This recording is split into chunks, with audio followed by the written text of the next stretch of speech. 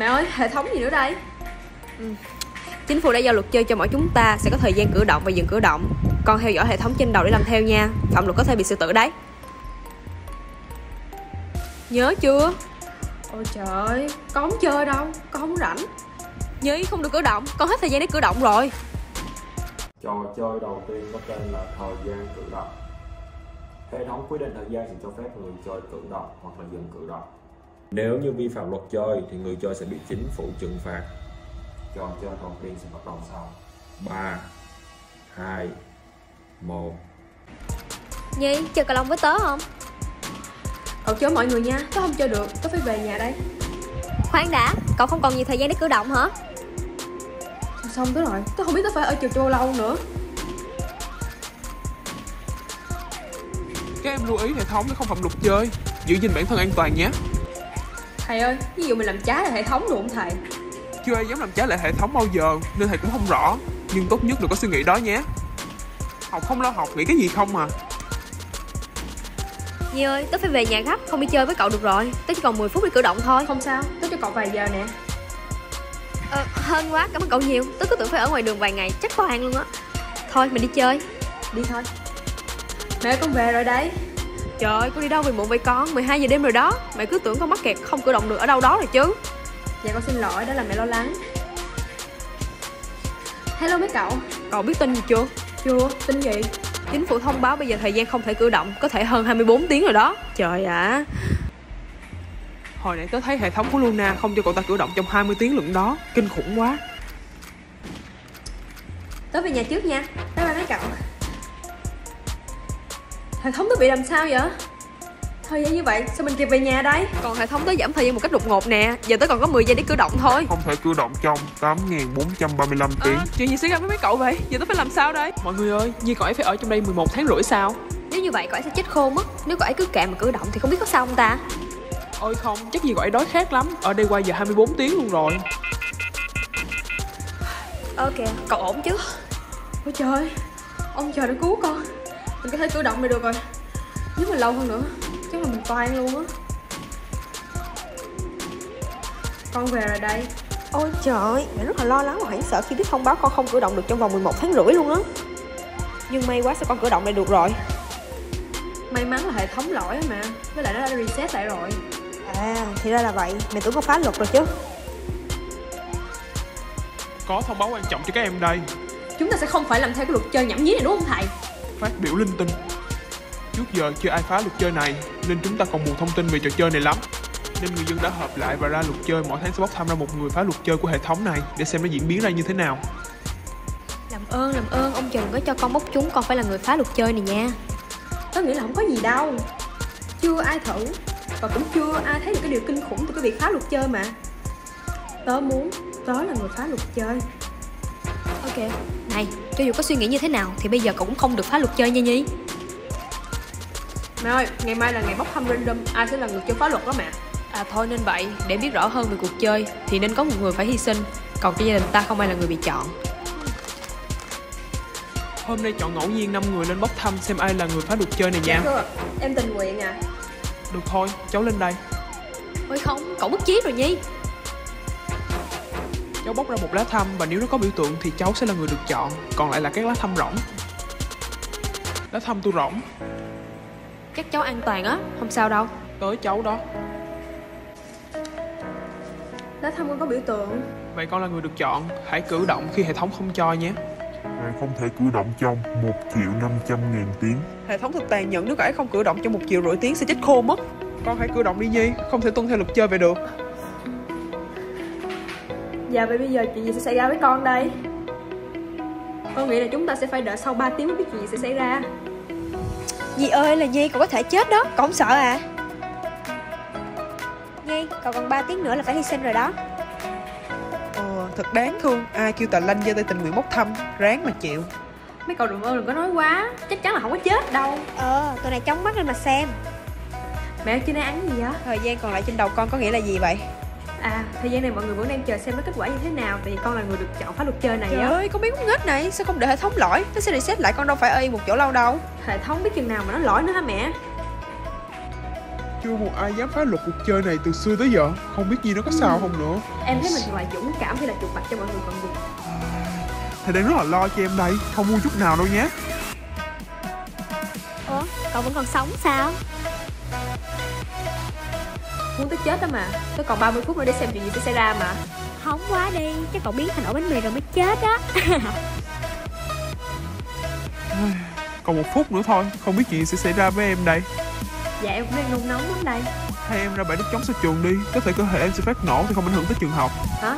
Thầy nói gì vậy? Con chờ phù hộ cho không có chuyện gì xấu xảy ra với thân xác của con. Vì bạn là người đầu tiên phá luật chơi nên hệ thống sẽ chuyển đổi một hình thức chơi mới khắc nghiệt hơn. Trò gì nữa đây?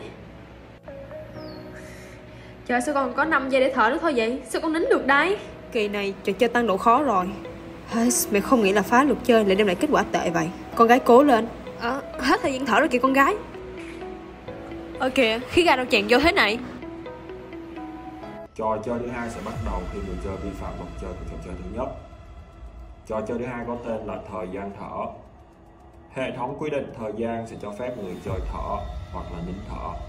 Nếu như vi phạm luật chơi của trò chơi thứ hai thì trò chơi thứ ba sẽ tăng độ khó. Trò chơi thứ hai sẽ bắt đầu sau. 3 2 1 Bây giờ em là người chơi đặc biệt lắm đó Nhi. Cứ mỗi lần em nín thở là khí ga độc sẽ ập tới. Buộc mọi người phải nín thở theo em luôn. Bắt đầu từ bây giờ mọi người tập hít thở thật tốt vào nhé. Dạ thưa thầy Mình có cách nào giải quyết vấn đề này không? Chứ em thấy ảnh hưởng quá cũng kỳ lắm Không nha, khí ga độc chuẩn bị tới Các em chuẩn bị nín thở một phút Còn Nhi phải tuân theo thời gian hệ thống đưa ra nhé Nữa hả? Con Nhi kìa, hay thích làm sự chú ý lắm Ngu ngốc mãi thôi Này, mấy cái khẩu trang mặt nạ đó đâu vậy? Có nhiều tiền thì mua được thôi Nó đắt lắm À mà nghèo như cậu, nghĩ sao mua được Nhi, cậu biết tin gì không? Tin gì?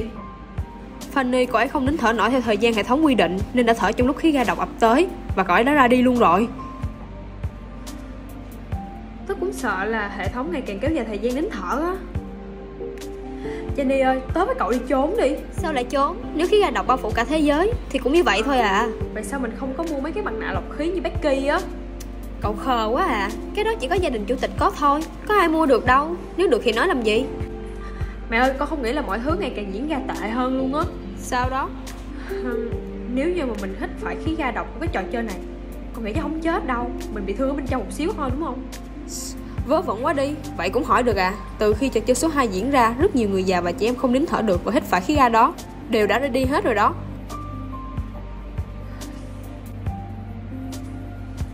Jenny ơi, có biết á, là mình ngày càng phải nín thở lâu không? Tao biết lâu rồi. Sau này mọi người phải nín thở ít nhất là 10 phút đó chờ. À. Tao nín thở không có giỏi, tao chịu thua á. À Vậy thì cậu chuẩn bị tinh thần cho cái mạng của mình rồi đó. Hôm nay chúng ta có tiết thể dục nha các em. Thầy ơi, bây giờ cái việc hít thở đang rất là khó khăn. Thầy tạm gác cái môn này qua một bên đi. Không được, nếu vậy bao giờ các em mới tốt nghiệp được đây? Mệt quá, tao không chạy nữa đâu à, Tao cũng vậy. Mọi người chú ý, chuẩn bị nín thở vì khí ga đang ập tới. Thôi tôi tiêu rồi. Mẹ ơi, con ngất trong bao lâu rồi? Ủa, trò chơi mới gì nữa đây? Ê, Vì con đã không nín thở nổi trong 5 phút Sau đó ngất đi và thở. Lại một lần nữa vi phạm luật chơi 2 Nên chính phủ đã ra trò chơi số 3 Nhưng kỳ này phải cẩn trọng đó Không thì chả biết chuyện sẽ xảy ra nữa đâu. Có nghe mẹ nói không Con mệt mỏi quá rồi Trò chơi thứ ba sẽ bắt đầu khi người chơi vi phạm luật chơi của trò chơi thứ hai. Trò chơi thứ ba có tên là thời gian nói chuyện. Hệ thống quy định thời gian thì cho phép người chơi nói chuyện hoặc là không nói chuyện. Nếu như vi phạm luật chơi của trò chơi thứ ba thì trò chơi thứ tư sẽ tăng độ nguy hiểm. Trò chơi thứ ba sẽ bắt đầu sau 3 2 1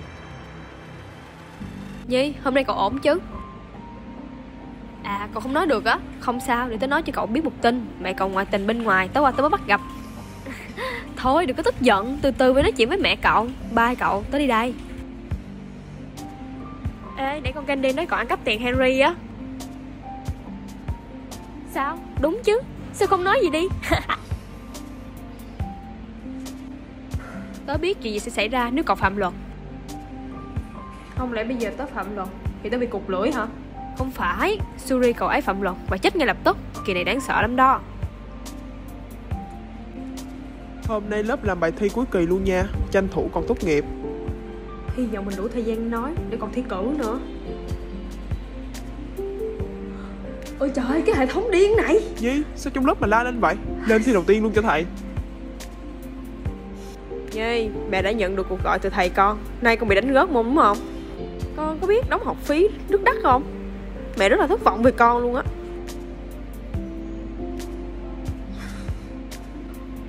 Jenny, tớ quyết định rồi.